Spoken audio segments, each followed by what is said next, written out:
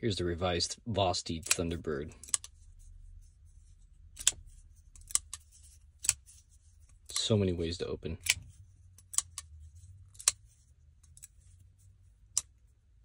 Button lock, right? Look at I made this one up. Can I do it? Oh yeah. M390, Topo G10, cool back spacer.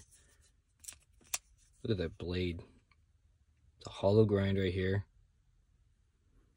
Whatever is going on there. Almost kind of looks like a Tanto the way the grind is.